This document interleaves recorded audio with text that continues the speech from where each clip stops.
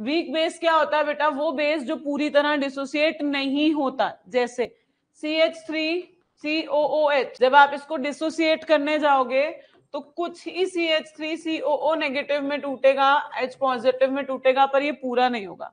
For example मैं बोलती हूँ in this case degree of dissociation is hundred percent why so why it is hundred percent because it dissociates completely for example here what I said कि भैया degree of dissociation क्या होगा? Hundred percent नहीं होगा। अगर मैं बोलती हूँ फॉर एग्ज़ाम्पल ये ए है और ये बी है तो मैं क्या बोलूँगी? डिग्री ऑफ़ डिसोसिएशन क्या हो जाएगा? अल्फ़ा माइनस ए या बी डिग्री ऑफ़ डिसोसिएशन क्या होगा? जितना डिसोसिएट हुआ है, उसको डिग्री ऑफ़ डिसोसिएशन से माइनस कर दो, पता लग जाएगा। फॉर एग्ज़ाम्पल मैंने बोला, सिर्फ़ 20 परसेंट ही घुला है पानी में। That means 80 percent is still left So you have to minus the amount of H, H positive या OH negative ion dissolved in the water.